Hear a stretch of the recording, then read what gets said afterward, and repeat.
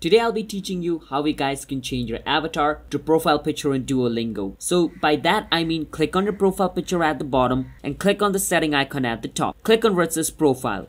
Now over here the avatar which is being displayed at the top that is my profile picture. Now if you want to upload your own custom profile picture from your gallery you cannot do that. In the old Duolingo, you could upload your profile picture, but in the newer version or the latest version of Duolingo, they have unfortunately removed that feature.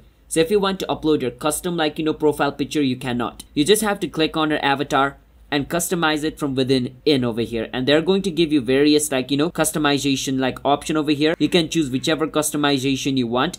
And you can basically like you know choose an avatar which looks similar to you. Once you choose the avatar click on done at the top right. And your avatar is going to be changed to whichever one you choose. And that is basically going to represent your profile picture because your avatar is your profile picture. So I hope you understand how you guys can change your avatar to profile picture in Duolingo. If you guys found our video helpful, hit the subscribe to our channel how to guide. I'll see you guys in my next video. Bye bye until then.